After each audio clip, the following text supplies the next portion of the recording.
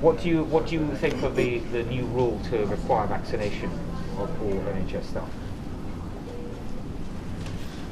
I'm, I'm not happy about that. So, You're not happy about it, tell no. me. so I've had COVID at some point. Yeah. Uh, I've got antibodies. Yeah. Um, I've been working on COVID ITU since the beginning. I have not had a vaccination. I do not want to have a vaccination. Um, uh, the vaccine's reducing transmission only for about eight weeks Mm. with Delta.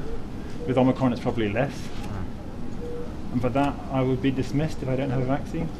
It's not the science isn't strong enough. That's your view. And, and, and your views? Do you have uh, any view on that? There's a, I respect that, but there's a there's also uh, many But clinicians I, agree with completely other, different views. yep, other, other views, Yeah. but Yeah. and there's another Yeah, colleague yeah. who's who's also in the same position. Yeah. Yeah. No, I understand that. And obviously we have to weigh all that up for both health and social care.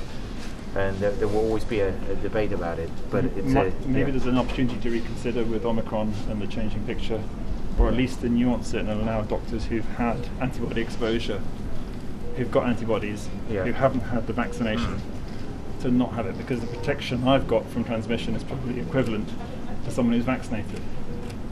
Yeah, but at some point that will wane as well. But if you want to Yeah. provide protection with a booster, Yeah. you'd have to inject everybody every month. If it's worn off by two months, yeah, if it's Yeah. wo- if the protection's worn off for transmission after two months, Yeah.